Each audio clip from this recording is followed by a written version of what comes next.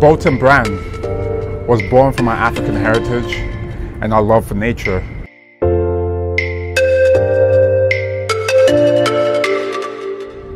Like a young tree, all we had was our roots to lean on.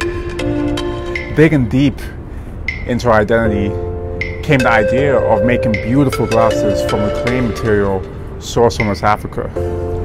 From our first prototype in 2013 to selling thousands worldwide.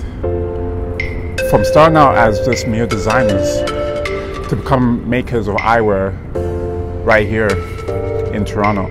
What started as an idea has become a movement. We've had the opportunity to tell our story to millions of people in the hopes of inspiring change within others. From falling along the path to not always meeting people's expectations to being limited by our resources. It was all part of the growth process.